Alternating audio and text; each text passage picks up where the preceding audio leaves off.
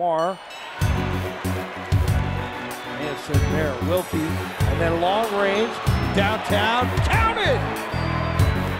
Caleb Ayers at the point guard position. Outside, another shot, feeling it.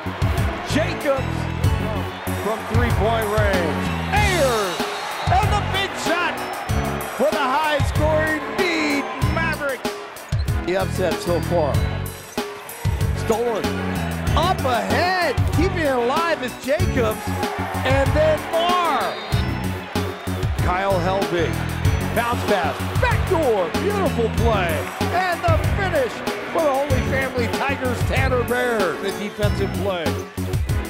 633. Little pump fake, the long two-pointer. Will not go for the Holy Family Tigers, but that one does. Jolly is right there. Basketball Live. This week for a action, and the big man, L Big. Now Bear. Bear. Easy jumper of the night. Marr inside Wilkie. Easy layup. KJ Jacobs on the floor. This one stolen away by Baird. Baird. Gets Jacobs up in the air. Baird hit.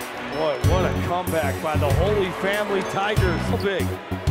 Trying to take it. Stolen away by Marr. And then stolen away by Holy Family. Back down the floor. And right before the buzzer, Caleb Ayers.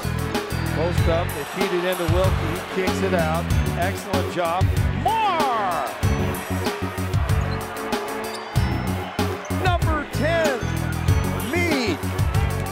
Number 10. Mead. The Mead.